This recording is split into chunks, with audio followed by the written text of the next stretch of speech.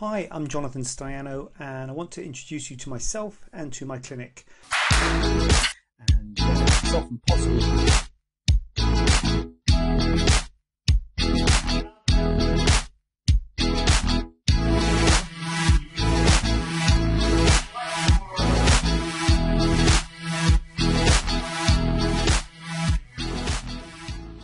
I am a consultant plastic surgeon and I'm the director of the Staiano Clinic, which is a clinic in Edgbaston in Birmingham, which I set up back in 2013 because I wanted a place for my patients where they could really feel looked after. We've got a small team in the clinic so that if you give us a call, if you phone with any questions, once you've been to the clinic, then you'll speak to uh, the person on reception who you've already met. If you have any questions afterwards in terms of the surgery or in terms of garments or bra fitting or any uh, worries or, or or questions you may have, you'll speak to the clinic nurse who you'll know and have already met before. And this is something that I felt was lacking in some of the bigger organisations, the bigger clinics, and the bigger hospitals that offer plastic surgery.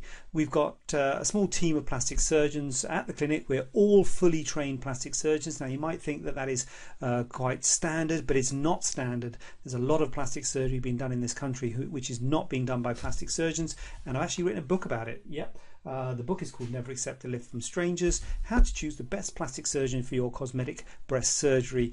And I've written it because I'm passionate about getting the message out there about choosing a fully trained plastic surgeon for your surgery. There's plenty of us about, uh, but there's also a lot of people who aren't perhaps uh, as well equipped or well um, as well qualified to be doing the surgery who, who are actually uh, still delivering the service. So here at the Staiano Clinic, we uh, are, are all fully trained plastic surgeons now, I say here at the Staiano Clinic, I'm actually in my house at the moment. Um, every Tuesday at seven o'clock, I do a Facebook Live Q and A, usually from here, usually from my house. So if you have got any questions, uh, email me, and well, I'll email you back the answer. But I'm also available every uh, Tuesday night, seven o'clock, for a live Q and A where you can uh, get involved and ask me questions there and then.